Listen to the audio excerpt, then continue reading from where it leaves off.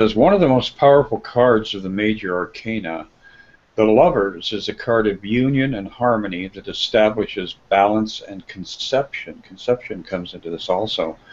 Sun and moon, man and woman, spirit and mortal are united in the ecstasy of creation. So, from the most mundane level to the sublime, the symbols in the card of the Lovers are the acknowledgement that perfect union starts within the individual and then evolves outward into the cosmos man as a separate entity has virtually no ability to spontaneously create.